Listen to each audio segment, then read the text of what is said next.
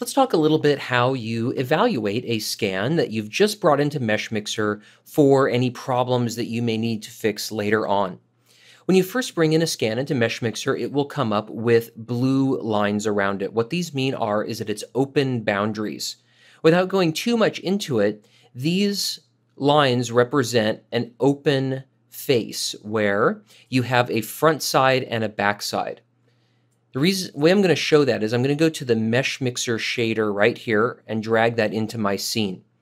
Now, this takes away the color for the moment, but it shows that the back is this pink color and the front is this gray color.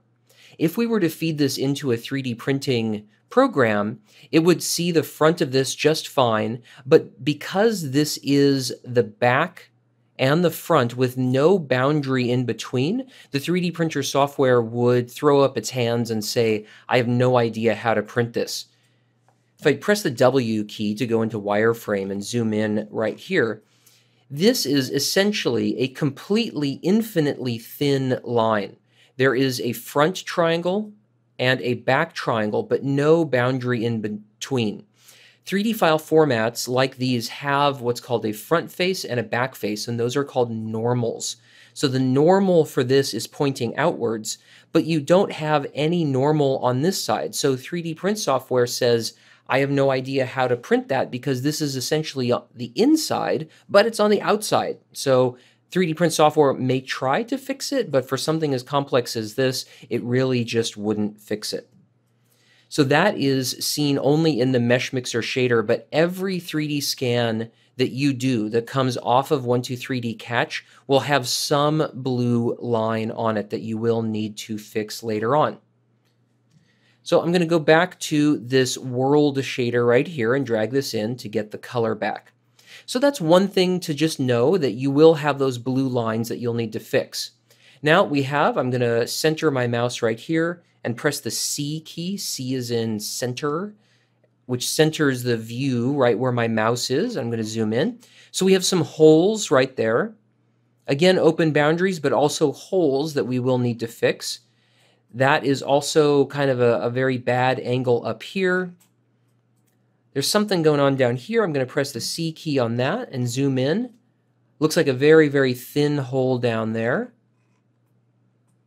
And we have just kind of pieces sticking out on this side up here. I focused for this project right here because what I wanted to do was to create a plate that went over this kind of ugly drill hole in the eaves underneath my house.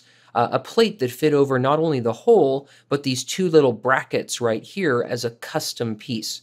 So I focused really nicely here, so this came out very well. But the rest of it, like the security camera and the rest of the scan, I really didn't care all that much about.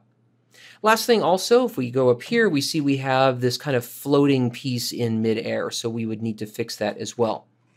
So those are the things that pop out to my trained eye. One thing that you can do is you click on Analysis to Inspector, the very top. So this will show you some issues. All of the blue pins are issues of open boundaries. So we know that there's an open boundary, a little tiny one right here. Looks like there is another tiny one right here that I maybe can't even see. I can try to zoom in a little bit. This may actually be referring to this entire open boundary, so that's fine. This pin goes to that open boundary and looks like there's another one right there, another hole right there. So for simple holes like this, you can just click on these pins and that hole is filled. And the very, very nice thing, if we zoom in here, is that MeshMixer will attempt to recreate the correct color in that place.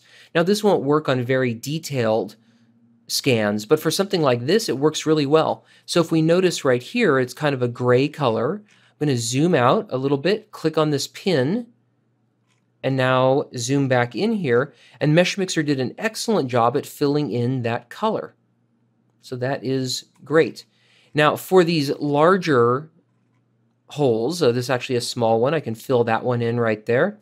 For this one larger hole, which is essentially the entire object, clicking this pin won't do anything. It won't have a good uh, effect. So that one we'll just keep as it is now.